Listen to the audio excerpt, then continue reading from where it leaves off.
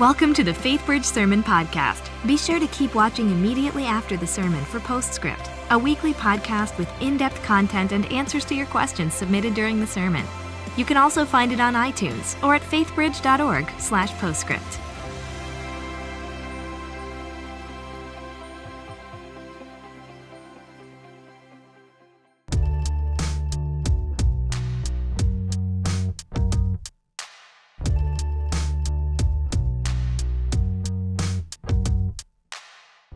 I just lost my job. I lost my job. I just lost my job two weeks ago. Have five mouths. mouths to feed. They just don't get it. Don't they realize I have a child with special needs? My child has special needs. They have no idea what that is like. My home life is too uncertain. My home life is just too uncertain. They, wouldn't understand. I'm too new to the church. I'm new around here. They're not talking to me.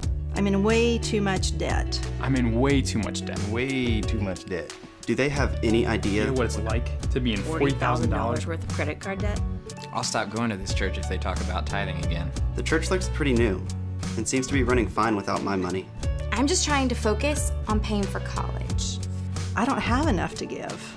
I don't have enough to give. I don't have enough to give. I've already given to the last five capital campaigns. What else do they want from me? What else do they want from me? I used to give at another church and they didn't do anything for me. They don't need my help. The church doesn't need me to give. They have plenty of givers out there who can make up the difference. They don't need my help.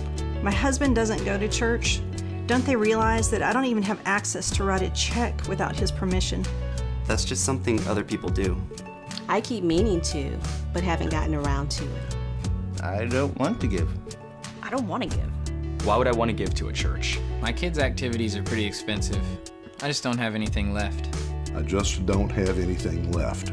Do you have any idea how much braces? Band uniforms. And club volleyball cost. I just don't have the money. I just plain don't have enough money. I just don't have the money. All right, so who of us here hasn't had one or two of those thoughts over time, right? That's why I'm excited about the series that we're going to start today. We're calling it Transformed because I really believe that God is going to do a work in our hearts of transformation. Now, in any realm of life, whether it's your business, whether it's your vocation, whether it's your devotional life, your prayer life, uh, your missional mindset, servanthood, whatever it is, there's always four phases that come in the transformation process. And today I want to take up the first of those phases. It's the wake up phase or the awakening phase, where you begin to realize something could be different than it is. Not that I really want that, not that I'm ready for that, not that I'm going there, but just waking up to the reality, it could be different. That's what I want us to look at today. We're going to go to Luke chapter 12. So go ahead and turn in your New Testament Matthew, Mark, Luke, the third book in the New Testament. And if you need a Bible, why don't you flag down an usher? They're in all of our rooms. And while I'm saying that, let me just say welcome in all of our rooms, whether you're in Center Court East, Center Court West, whether at the Woodlands, whether you're in Korea. What an awesome story we heard about you last week. That was amazing. And whether you're online, however, however it is that you're here, we're glad that you're here today. So while you're turning to Luke chapter 12, uh, let me ask you this. I wonder if you read the story of the two men in Kentucky who decided that they were going to rip the face of an ATM machine off. So, what they did is they, they decided they would run the chain from the face of the ATM machine to their truck. And when, but the problem is, when they hit the gas, the truck lunged forward, but the face of the ATM did not pop off and money did not come spewing out. Instead, the chain, uh, still firmly attached to the ATM, jerked the bumper of the truck off to the ground. They panicked and they fled, never considering the fact that their license plate was also attached to the bumper, still attached to, the ATM machine. So the authorities didn't have to work too hard to track them down. Not the smartest move. Now, most of us would never try something like that, but I do believe that our quest to get more can rob even the smartest of us of our common sense. I see people all the time who want nothing more than, you know, what you might call the normal American life to have a house, to have a car, maybe two, to have a family, you know, maybe a pet or two, and this sort of thing. It becomes, though, something that they run up all sorts of debt to be able to achieve. And before they know it, money is controlling their lives. It becomes now what they worry about, what they stress about, what they think about all the time while they're trying to enjoy this life that they have created. And so they pick up extra hours, they work overtime just to try to pay for this life that they thought would be so enjoyable. One author put it this way he said, The problem these days is that many Americans aren't so much making a living, they're making a dying. Just trying to pay for what they thought would be so enjoyable. So, even if you don't ever leave your bumper attached to a chain, attached to an ATM machine, money, money can cause any of us to do the strangest things, can't it? I'll tell you what the nub of it is. In one word, the nub of it is greed. Now, I know what many of you are thinking right now. You're like, okay, so he's going to talk about greed. Well, that's pretty good news for me because I'm not greedy. Moi? You know, and so, but it's good that you're talking about them because I know a lot of greedy people. In fact, I saw one or two here today, so it's good that you're going to go ahead and preach about that today.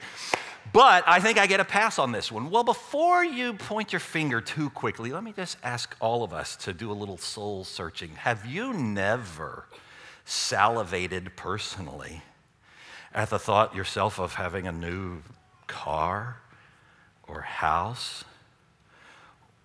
or maybe some new kitchen appliances or some golf clubs or some jewelry or maybe a procedure even being done on your body or taking a certain trip or maybe just fixated on the number on a lottery ticket or your fantasy lineup.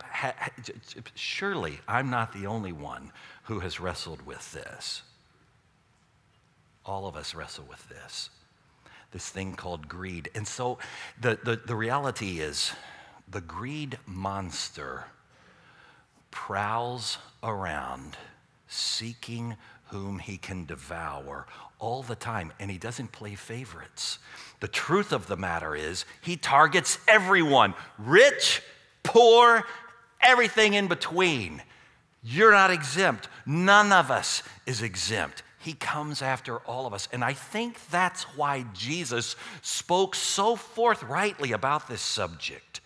And, and that's why we're going to look at it, starting in uh, Luke chapter 12, and we'll go to verse 13. Let's see what Jesus uh, said about this. Someone in the crowd said to him, Teacher, tell my brother to divide the inheritance with me. Jesus replied, Man, who appointed me a judge or an arbiter between you? And then he said to them, Watch out, be on your guard against all kinds of greed. Life does not consist in the abundance of possessions. And then he told them this parable The ground of a certain man yielded an abundant harvest. He thought to himself, What shall I do? I have no place to store my crops. And then he said, This is what I'll do. I'll tear down my barns and I'll build bigger ones. And there I'll store my surplus grain. And I'll say to myself, You have plenty of grain laid up for many years. Take life easy, eat, drink, be merry. But God said to him, You fool. This very night your life will be demanded from you. And then who will get what you have prepared for yourself? This is how it'll be with whoever stores up things for themselves but is not rich towards God. So, this is the word of the Lord, unfortunately. Now, I want us to wrap our minds around three things, okay? Because this is a very penetrating text. It nails all of us. But as I've studied it, I, I, I, think I've distilled it down to three things that we really have to wrap our minds around if we're going to, to get this. So if you're taking uh, notes, here's the first one Greed is hard to identify in ourselves. And by that, what I mean is it's sort of like bad breath. It's not hard to recognize when somebody else has it, but we don't tend to notice it in ourselves nearly so easily, do we? And so in verse 13, when the man in the crowd rudely interrupts Jesus while Jesus is just teaching along, he says, Teacher, tell my brother to invite, to divide the inheritance with me. What did Jesus do? He didn't even go to the presenting issue, he never addressed inheritance. What did he do? He just dove right in to the real real issue, the issue beneath the issue. Greed, he said. The problem is greed. What's he say? He says, Watch out. Be on your guard for all kinds of greed. Now, why does he say that, Jesus? Why does he say watch out? Jesus talked about all sorts of things, right? He talked about lust, he talked about murder, envy, sex, you name it. He talked about it. But he never said, watch out. Be on your guard against all kinds of murder. Watch out. Be on your guard against all kinds of adultery. He never said that, did he? You know why? Because those are so clear cut. You know if you've committed adultery or stolen something or told somebody a lie. Nobody gets halfway into a killing and says, Gosh, you know, I, this might be homicide. Maybe I shouldn't. Doesn't happen that way. Murder, adultery, stealing, lying, they're all very clear cut. But greed, Greed is not nearly so clear cut, is it? Where's the line? Where's the line across which I just became greedy? I wasn't greedy, but now I just became greedy. See, that's the problem. And that's why he's saying, guys, you really have to watch out for this one because this it's a sneaky thing. It'll slip up on you and you won't even realize it. I, have had many conversations over the years with, with men who will come, uh, you know, in private and say, I'm, I'm really having a hard time uh, with pornography. And I'm having a problem with porn. Or even I've, I've, I've committed adultery, you know.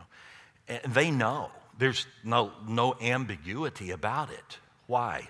Because there's a crystal clear behavior that proves this. But I've never had anybody come up to me in all the years that I've done ministry and say, Pastor, I'm greedy. I used to think of things as luxuries, but now I think of them as necessities. What's happening to me? I don't know. I'm turning into a greedy pig. Help me. I've never had anybody come along and say that to me. Why? Because there's not typically one behavior that proves greed, sneaks up on us. Therefore, what? Therefore, I think, as Tim Keller says, we'd probably do well to assume that we're in denial about this one, all of us, and that we're probably under the influence of greed more than any of us would like to realize. Now, I know that that's kind of a punch in the mouth on a Sunday morning, on a beautiful, cool Sunday morning at that, but it's what Jesus said to the man uh, here, and I think it's what he would say to us today as well.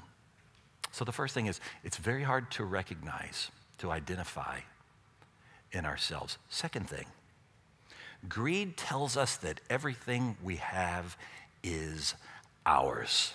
What's mine is mine. The farmer in that story he'd obviously worked plenty hard and apparently he'd been honest and so he fills up one barn he fills up another barn fills up all the barns and finally says gosh i just got so much. My barns runneth over. So he says i'll just knock over these barns and i'll build bigger barns and we'll stuff those full and finally when i press the doors closed and latch the doors down maybe finally then i'll have enough and i can take it easy and eat and drink and be merry. The problem wasn't his success. Oh no the problem wasn't that the problem was that all he could think of was himself. If you look at verses 13 through 16 and do the Bible study yourself, take a highlighter, take a uh, pen, and just circle all the times that I, me, my, mine, myself occur. I think I counted 13 when I did the exercise. It keeps occurring in his life. And you know what? It keeps occurring in our lives too. I, me, my, mine, myself. The way greed works is that we start to think it's all about me. And everything that I have is really mine. That's my account. That's my job. That's my child. That's my body. It's, it's mine. But the Bible says that what you think of as yours is not really yours. But you already know this. Instinctively, you know this.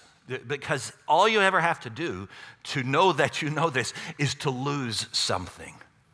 You lose a little bit of money, you lose a loved one,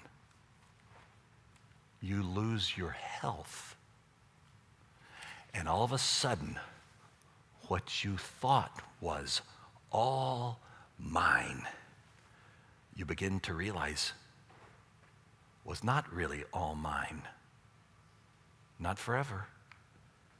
That's why Psalm 24, uh, 24 1 says, The earth is the Lord's and everything that's in it. That's why you see the transformed follower of Jesus Christ never hesitates to acknowledge everything that I have ultimately came from God, and everything that I have ultimately belongs to God.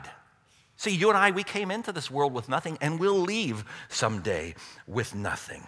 So, in the meanwhile, we're just stewards of all the stuff that God has entrusted to us while we're here on earth. And when He's done with us, here's the catch when He's done with us, He'll take all of that stuff that we thought of as ours and He'll entrust it into the care of other people.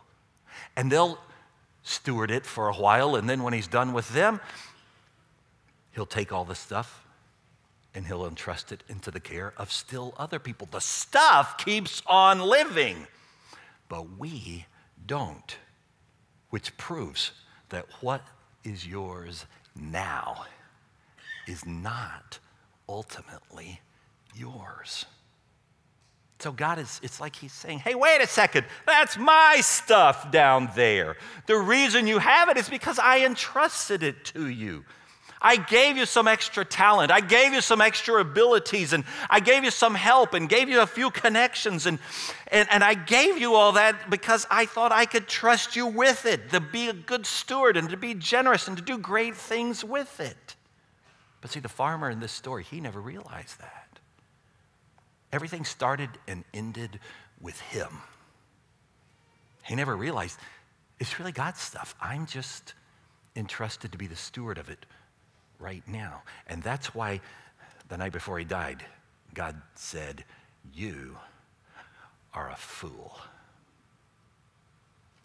Pretty strong words. Which leads to the third observation greed makes us rich towards ourselves, but never rich towards God. Since the farmer couldn't see past his life on earth, the only person he was ever rich towards was himself. But, but he wasn't towards God. That's what you see in verse 21. Now, this is a very serious word uh, here because all of us, we can all become just like that farmer, can't we? We'll spend money that we don't have to get things that we can't afford, but then, follow me here, then somebody comes along and says, hey, you know what? I'm going on this mission trip and I need to raise some, some funding for it. And I was wondering if you could help me by supporting me on this mission trip.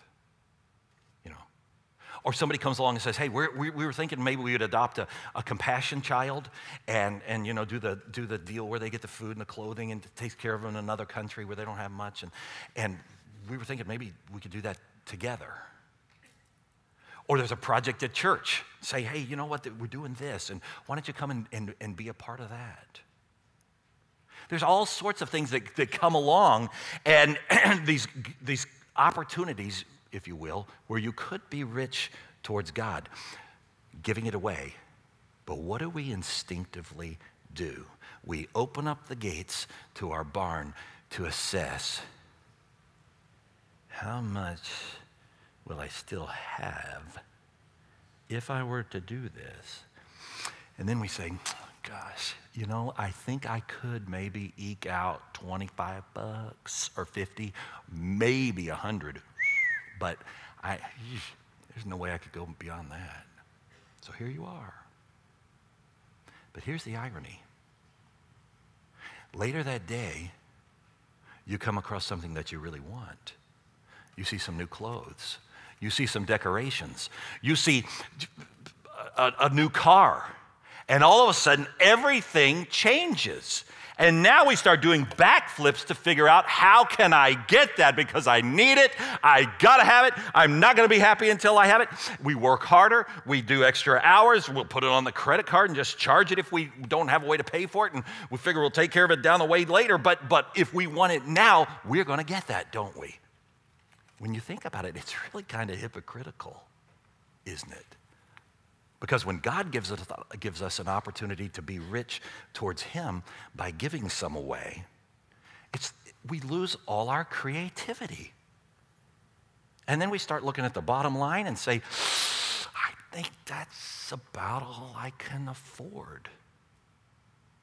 But we never use that line any other time in our lives. We never say that otherwise. Why? Because we're all greedy. And I'm not just saying you people out there, me too. I wrestle with this as well. We're all taking this journey.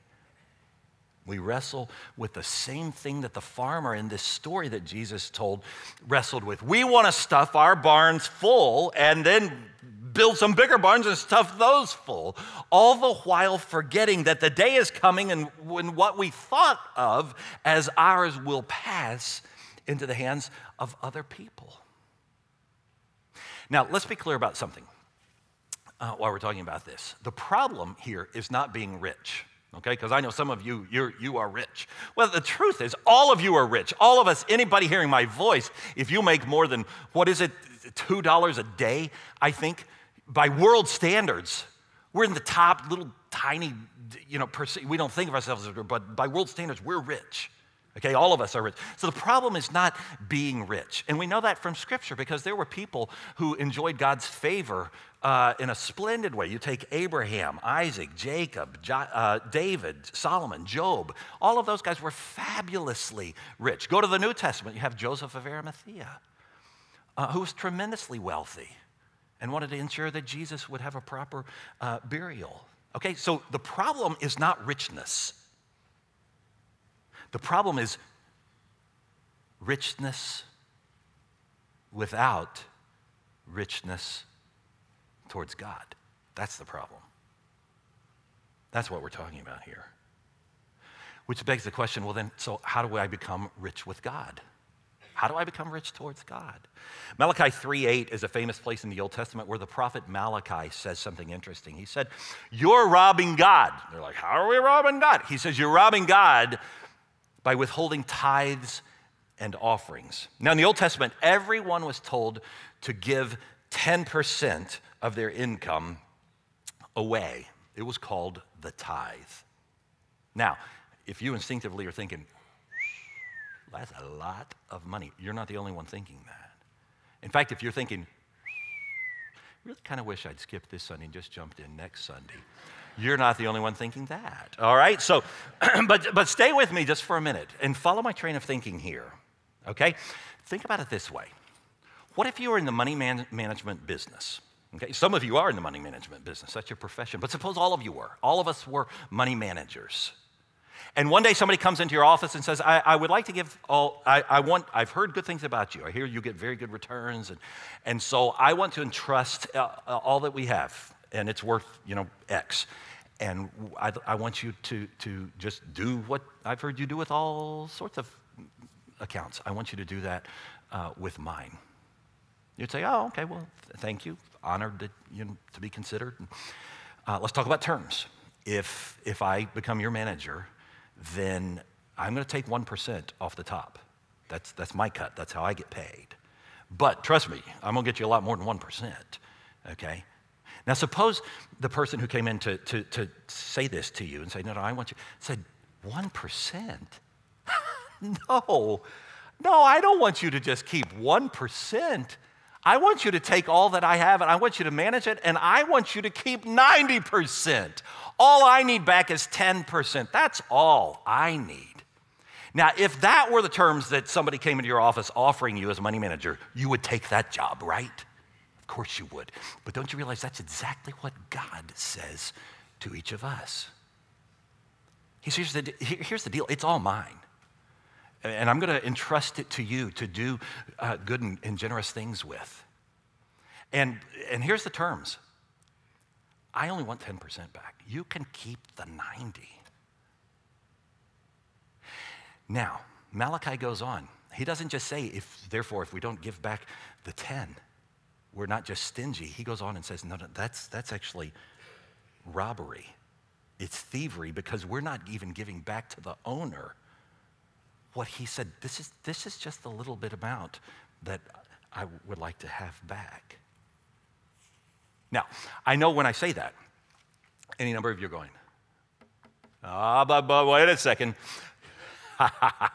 That's Old Testament. I know tithing is Old Testament. The New Testament doesn't really talk about the, the, old, the, the, the tithe. I know that you're thinking that.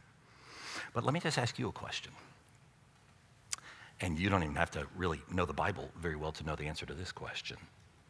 Do people in the New Testament receive less grace, less revelation, less benefit from God in the New Testament than they received in the Old Testament? No, of course not. See, they received more grace and more benefits. The reason the New Testament doesn't emphasize the tithe is because Jesus did not give a tenth of his life, or we would still be lost. He gave it all for us. So remember how last Sunday, when Ben was preaching about Zacchaeus, he highlighted uh, that once Zacchaeus encountered Jesus, once he met Jesus and looked into his eyes and felt his grace and felt his forgiveness and knew this man has looked into my soul of souls, he's seen every dark, dirty, rotten, horrible, polluted thing that I ever did. And yet, he's offering me grace, he's offering me forgiveness. What changed? Everything changed. The next thing that Zacchaeus does is, hey, Lord, look at this. I'm just giving it away 50%. How's that? And what does the Lord do? He doesn't go, oh, no, no, no, no, whoa, you're getting a little carried away there. Not 10% will be enough, Zacchaeus. He doesn't do that. He says, good job. Truly, salvation has come to this home. I can look into your heart, Zacchaeus, now, and I can see the switch got flipped.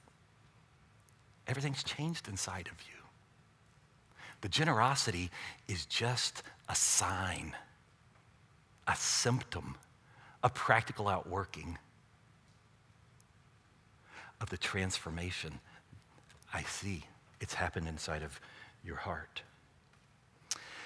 And that, incidentally, is why none of us here gets a pass on this challenge. And this, I realize, is quite a challenging message. Because even those of us who are giving 10% of our money away, I'm afraid that for us, the temptation might be to sort of, we get it on autopilot and we never even think about it. And we say things like, you know, once I started tithing, I really, we, got, we kind of adjusted and uh, got used to it and never really thought about it again. But I think we have to wrestle about something different. It's the question are we really living like Zacchaeus in the New Testament with radical generosity? Or are we still just settling for ground floor, basic, starter level Old Testament tithing? So, see, none of us gets a smug pass on this. All of us, all of us have to ask Am I really being rich towards God? Am I being radically generous? How can I know? Well, when you've been touched by Jesus, friends, like Zacchaeus, the subject changes. It changes from how much do I have to give? How much do you want to? What could I do? Everything changes, don't you see? And so that's why Zacchaeus' outcome last week in the text was so different than the text this week. The farmer in our text and Zacchaeus had such very different outcomes. Now, remember also one more thing from last week. And if you didn't hear that one, I hope you'll go back and listen to it. Why, uh, why was Zacchaeus up in that tree? You remember he was up in that tree because nobody would let him in to see the parade where Jesus was coming because they all hated him. He was despised. He was rejected. So he had to run off and get up in a tree because everyone was giving him a cold shoulder, not letting him in. And of course they were. He deserved to be rejected. He was despicable. All he'd ever cared about was himself. He was the quintessence of, of greed, self worship. So he's in that tree because he's despicable. But then Jesus Christ comes along and, out of sheer grace, says, Zacchaeus, I want you to come down from that tree so that you can experience a feast of love and grace and forgiveness like you've never experienced before. And what we have to realize is happening, and I give credit to Tim Keller for, for, for this thought, because I never noticed this before. It was as if Jesus was saying, I'll trade places with you, Zacchaeus. It was as if Jesus was inviting Zacchaeus down from the tree and saying, Now I'll go up in the tree. How's that? Well, remember in Galatians and back in Deuteronomy, the Bible says, Cursed is he who hangs, who is hung on a tree. And what that means is the worst kind of execution was that somebody might be hanged from a tree or nailed to a cross made of tree wood. And Jesus went up on that tree, if you will, where he would die for Zacchaeus and for you and for me. He switched places with us. He said, You come down and you'll be forgiven for all of your stinginess, for all your duplicity, for all your hard heartedness, for all your greed. You come down, I'll forgive you for all of that, and I'll go up in your stead. I'll go up as a replacement, as a substitute, despised and rejected for you. And when Zacchaeus saw that type of amazing grace, I'm telling you, it transformed him. It, it just absolutely rocked his world and it will for you as well. When you experience the life changing, soul saving grace of Jesus and you realize how much He's done for you, everything inside of you will be transformed as well. See, the reason I believe that, that many Christians are not generous is, is not that they're stingy or that they're trying to be like Ebenezer Scrooge. No. I believe that, that many Christian believers, the reason that they are not generous is because of one word fear. They're afraid. We're all afraid. So, what do we do? We cling to our money.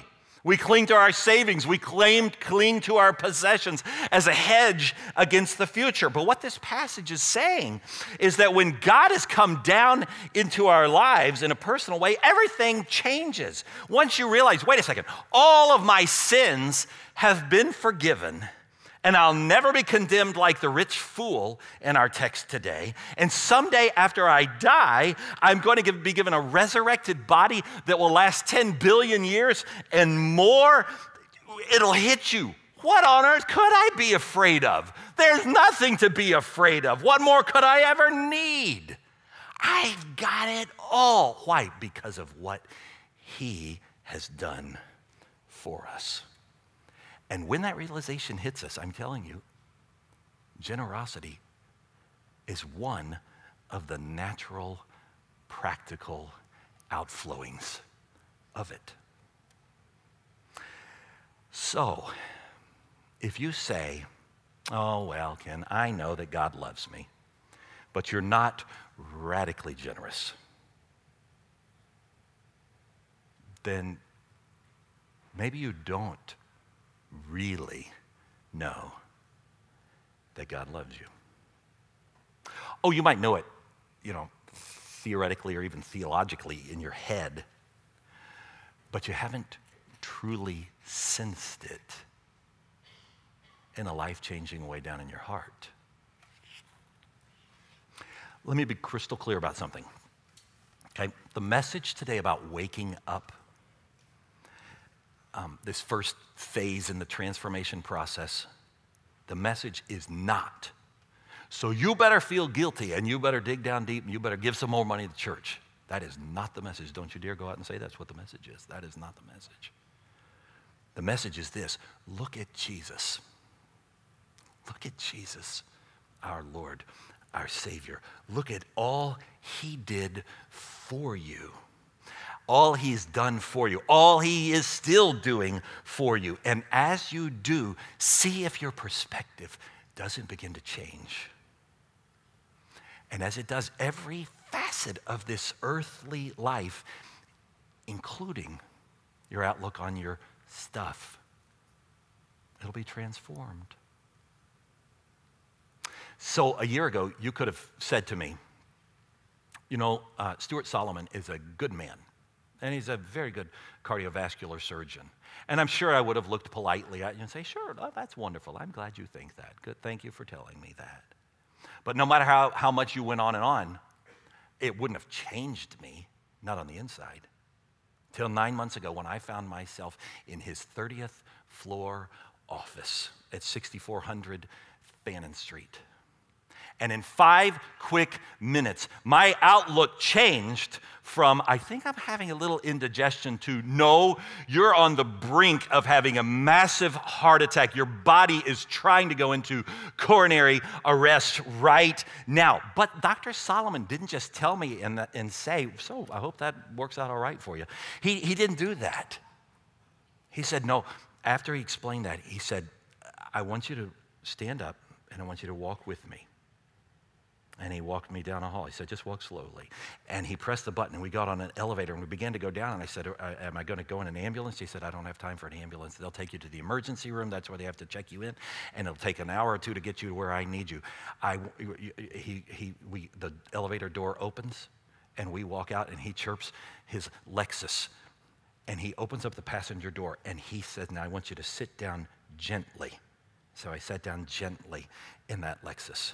He closes the door, walks around, gets in, drives me down out of the parking lot into uh, onto Fannin Street, three blocks down into a different parking lot where the hospital was. Says, "Don't get out of the car, just sit there." While he went over and got the wheelchair, brings the wheelchair over, and says, "Now I want you to gently just move from that seat into this chair." I said, "I really, I think I can walk. I don't." He said, "You don't know how sick you are.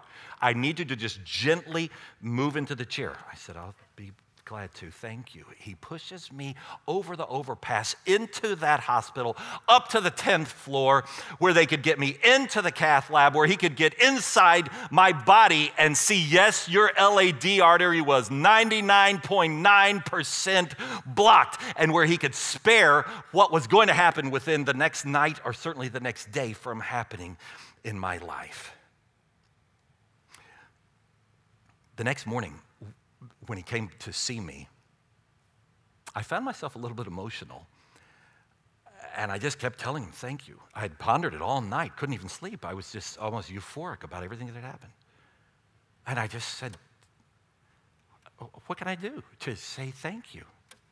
I just went on, thank you, thank you. I wanted to hug him and you know all this stuff. And and and you know something? When I got home, when I got home, I did something I have never taken the time to do. I opened up my computer and I went on one of those doctor sort of evaluative websites where you most people kind of put in their negative stuff. And, and so I went on and I found Stuart Solomon and I went five stars. Five stars, five stars, five stars. Best doctor, go to him. Do it now. Don't wait. I went on every single website I could find that had his name, and I put the same reviews in, and I found myself wanting to write this note and say just thank you, thank you, thank you. How will I ever say thank you? Suzanne says thank you. My boys say thank you. And I just, how, now did they ask me to do any of that? No, they didn't ask me to do one bit of it. Why did I do it then? Because experientially, I realized what he had done for me in saying, You don't know how sick you are. I'm going to call the shots. I'm going to get you through this, but you need to come with me now. It's interesting, as I've pondered that over and over and over, I've fallen in more, more in love with Jesus as well because it, it's occurred to me that well before I ever walked into Dr. Solomon's world, Jesus Christ walked into my world. And he looked into my heart and he said, I can see into your soul of souls. And I see the thoughts that you think.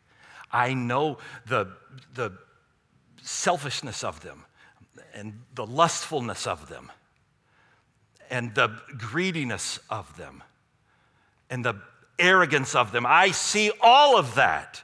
And I have heard all the words you've ever said, even the ones you hope nobody else would hear you say. And I've seen everything that you've ever done, even the things you hope nobody. I hope nobody will ever know about those. I know it all, and yet I love you. and I'm going to save you.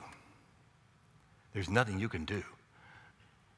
You could never get yourself out of this. So I'm going to save you. You just come with me. And I'm telling you, the more I realize what Jesus has done for me, the more I realize he says, now I can do more than just fix the, the heart, the physical heart in your body. I can give you a whole new heart.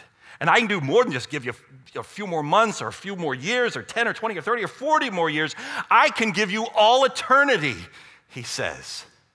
And on the other side of this life, I can give you a resurrection body that will last for 10 billion years and more. And the more I ponder that, the more I realize how much He has done for me when I did nothing to deserve it.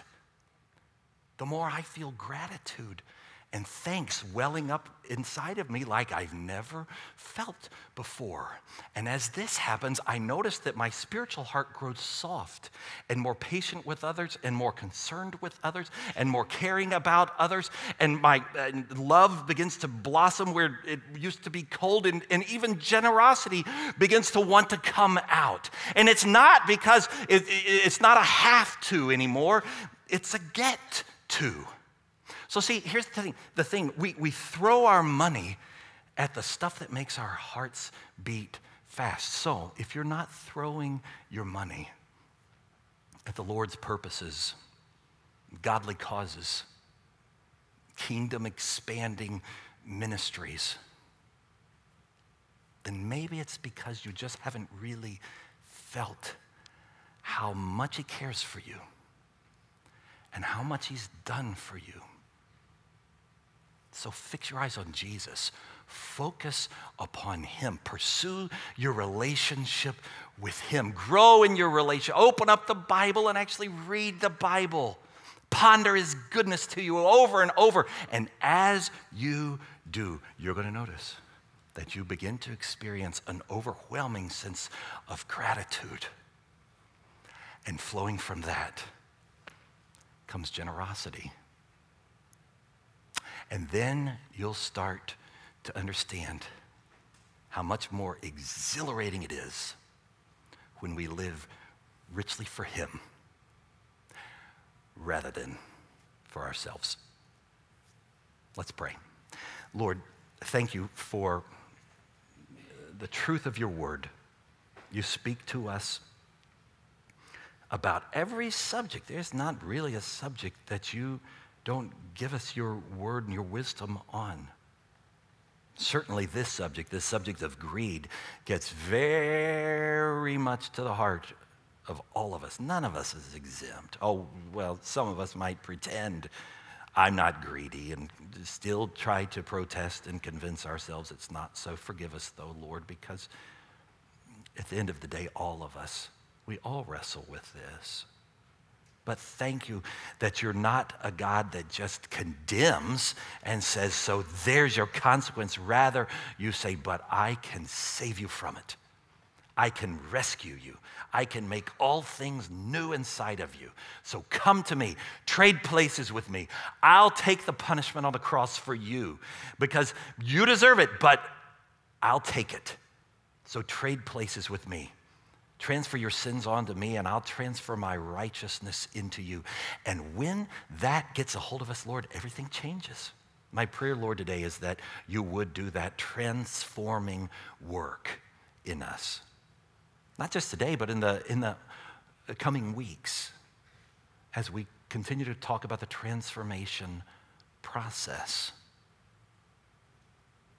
Lord, my prayer is that particularly those of us who've journeyed a long time with you, maybe 20 and 30 and more years. We've been believers for a long time. Forgive us, Lord, for the, I don't know, callousness that our hearts can develop because we've sort of lost the, the wonder of it, the newness of it, the fact that your amazing grace would work in us. Forgive us for that. Won't you reawaken us? And for those who here maybe have never said yes to Jesus in the first place, uh, my prayer is right now that you, friend, would just open up your heart and say, Lord Jesus, I need you to come in.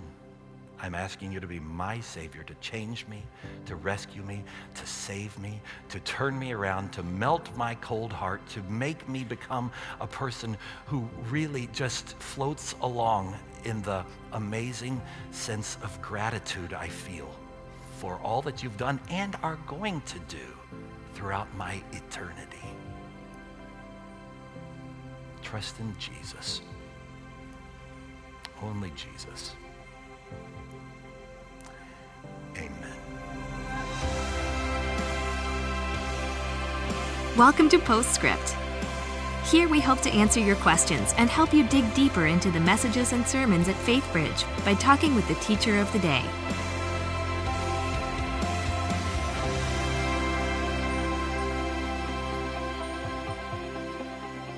Welcome to Postscript. My name is Michael Sullivan, and I'm the business administrator here at FaithBridge. And I'm joined by Pastor Ken, who just gave a great message to kick off our Transform series. And now he's going to answer a couple of your questions. Thanks for being here with us, Ken. Happily.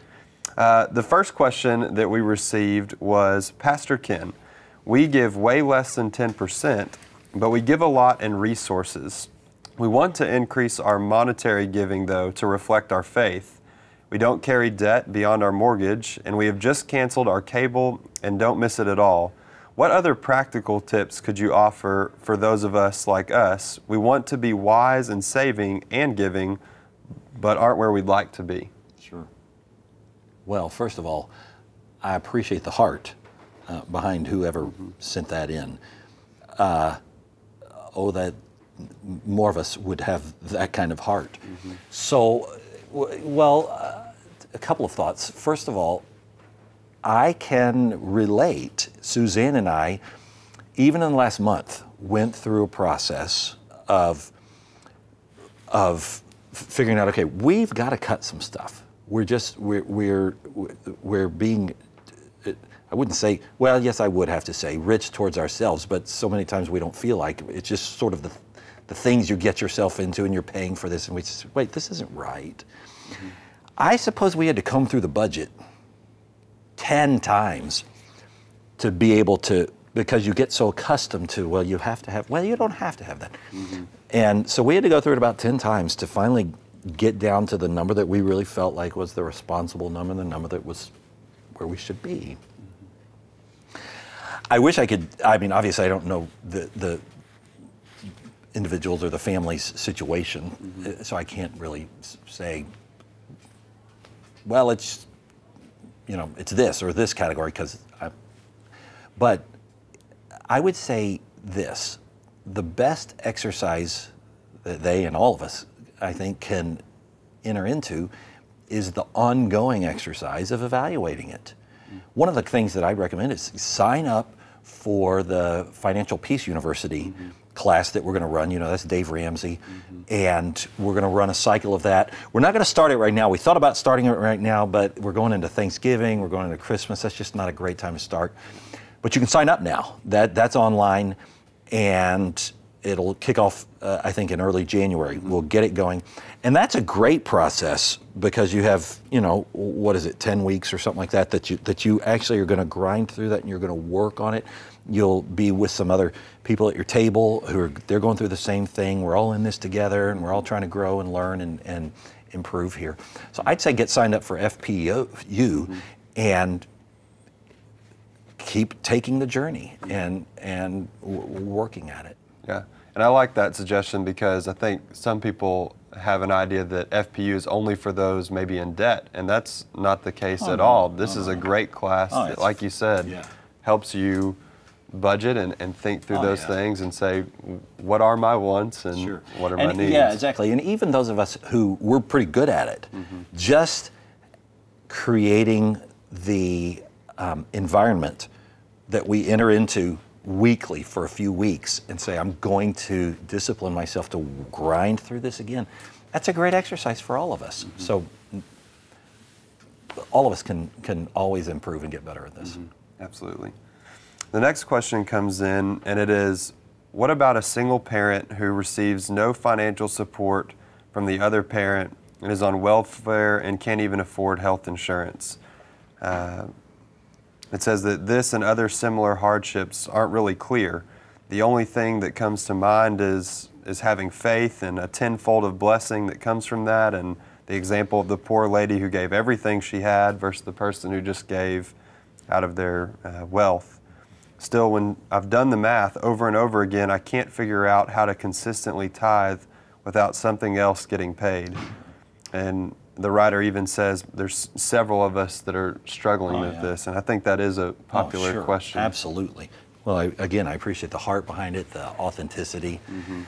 and am certainly sympathetic to the situation. Mm-hmm. Um, you know, I think what I appreciate about this questioner is that she's wrestling with it. Mm-hmm. That's half the battle. Just to say, well, I'm going to wrestle with it. I'm going to look at it. I'm going to pray about it. I'm going to think about it. I'm going to work on it. Maybe go to FPU and, and see if there's some angles there that I haven't discovered and some insights. And so, so I appreciate her willingness to, to wrestle with it. Far be it from me. I know there's some preachers that would say, you know, sow a dollar and God will is bound to give you ten dollars back and and so on. And I've seen some catastrophic things happen from that. So I'm not going to say that. What I would say though is that I know that I know that I know that anytime I personally or anybody I've ever known who loves Jesus has taken a little step of faith.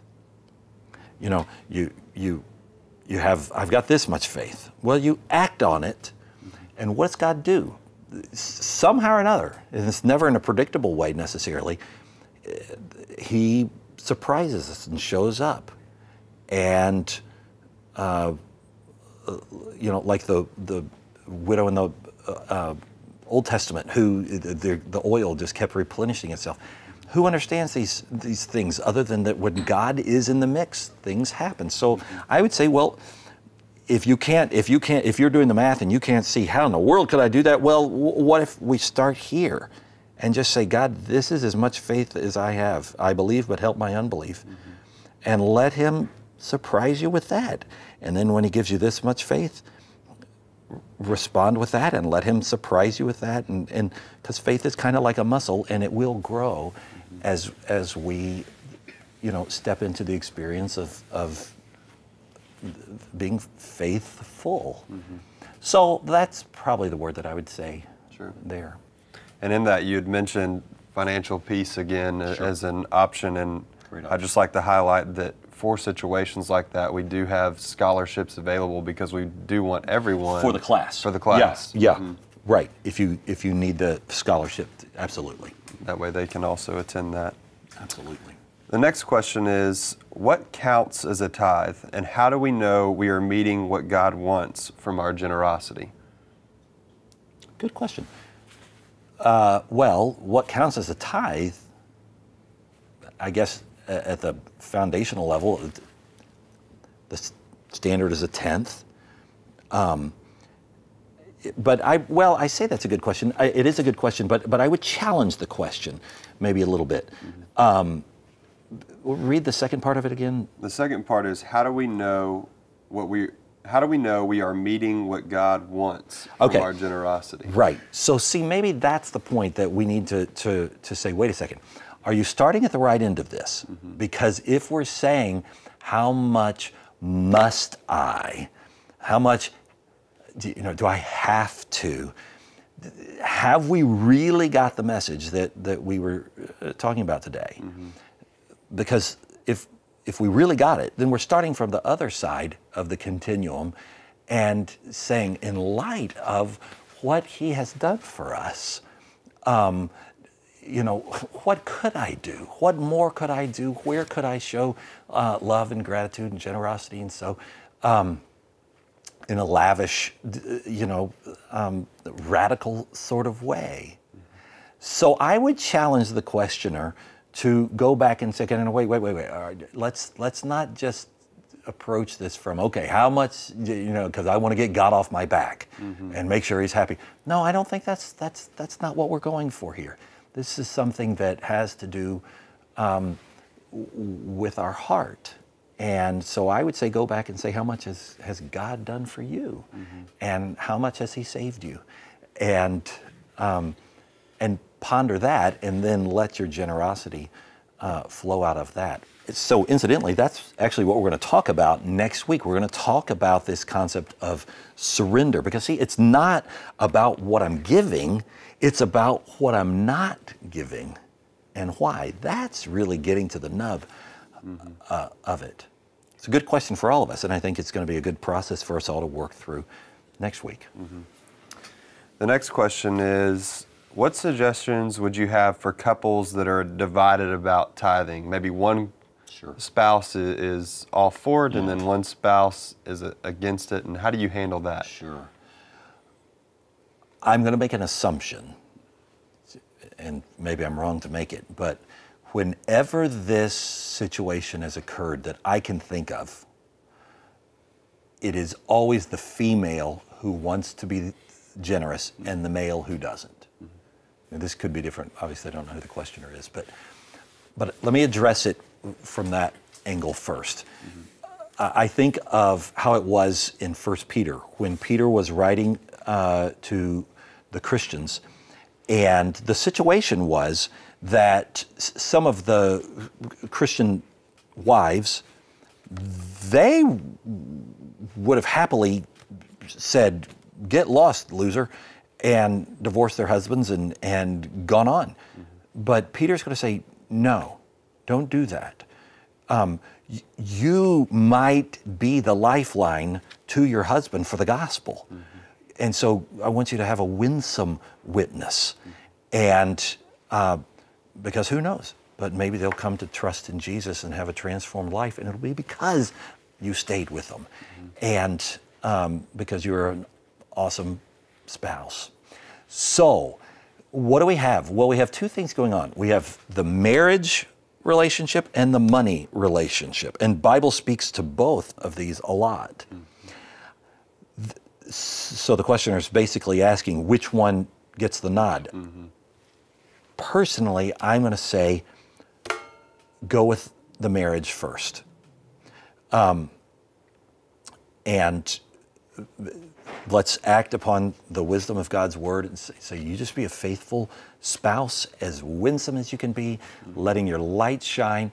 And we'll just pray that He, and, and I think it works very much the other way, or she will see your light shining and say, okay, you, you're finally convincing me. Not so much by nagging me about this, but just because I watch you and I see what God's doing inside of you and has done inside of you and done inside of us.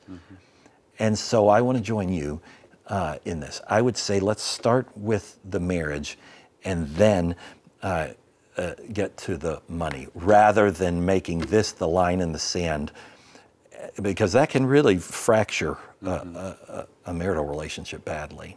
So I think that's, that's the direction I'd approach it at least. Good answer. Uh, this isn't. This last one's really not necessarily a question, but more of a comment. Uh, it says that my fears center around having enough for whatever my children need now or in the future. I know God will provide, but it's very difficult to let the illusion of us providing for them go. Yeah, right. I understand that. I, I feel that myself uh, towards towards my kids.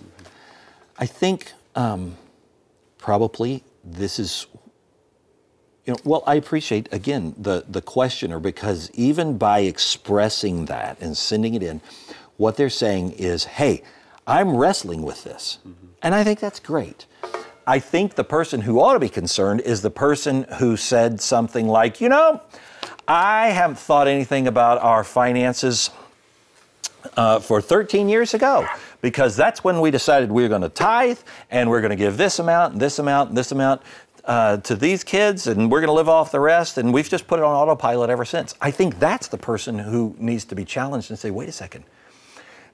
A good money manager cannot possibly put things on autopilot. Say we'll get back to. We'll actually we'll never get back to this because we worked it out 13 years ago.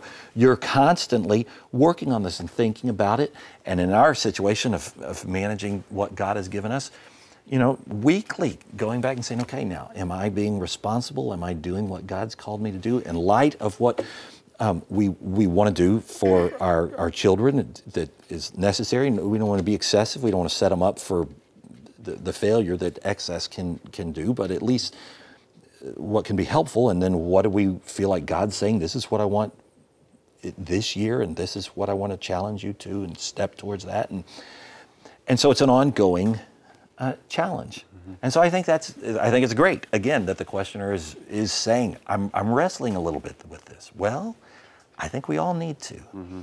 Um, and what we need to resist is this sense of finally I'll have it all worked out and I'll never have to think about it because it'll be on autopilot. That's what the rich fool was trying to do. Mm-hmm. I'll just it'll be all worked out. I'll close those barn barn doors and then I can just eat, sleep, be merry, and and it's just going to be eat, drink, and be merry, and it's just going to be great. And that's where God says, no, no, no, no, no, that's foolish. That's mm-hmm. not the way I intended for you to manage what I've given you.